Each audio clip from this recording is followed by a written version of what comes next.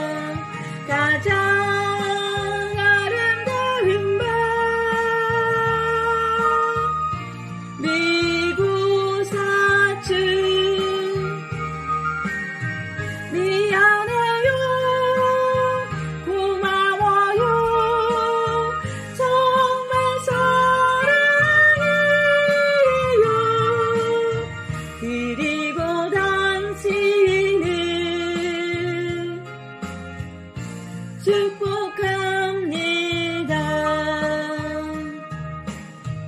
무례한 말 한마디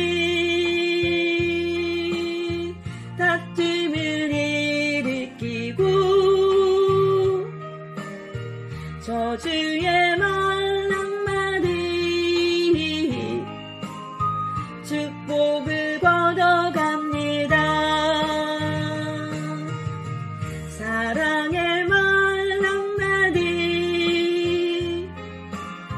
생명을 불러오고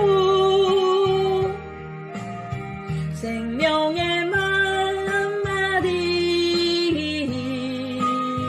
사랑을 키워줍니다. 가장